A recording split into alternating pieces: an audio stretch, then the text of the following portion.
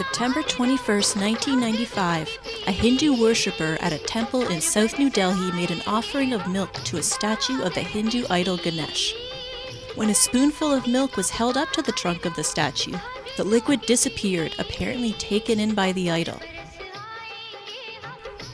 Hindu temples across the world successfully replicated the phenomenon, including the Vishnu Mandir Temple at Yonge Street and Highway 7 in Richmond Hill.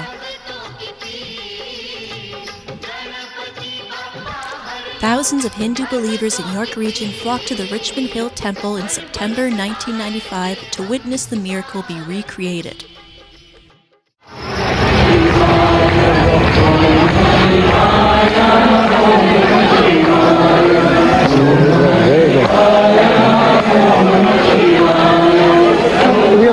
Discovered that the Ganesh Murti, the Ganesh statue, milk is offered to it and it has been absorbed by the statue. This has started in India, as you may know, and we have discovered this since uh, 12 o'clock uh, yesterday.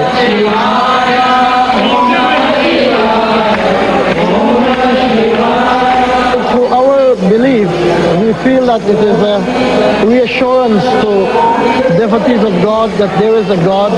He's answering your prayer and you will be taken care, you will be look, uh, looked after by Him in the near future. So this is really a celebration for your Yeah. for, for your temple. Yes. I have a statue about 12 inches uh, of uh, black stone Ganeshji. I just started uh, with a katori and chammach and a spoon and started offering milk to the god and it started going on and my children were so excited. It happened around 11.30 and then I rushed to the, mon- uh, the temple.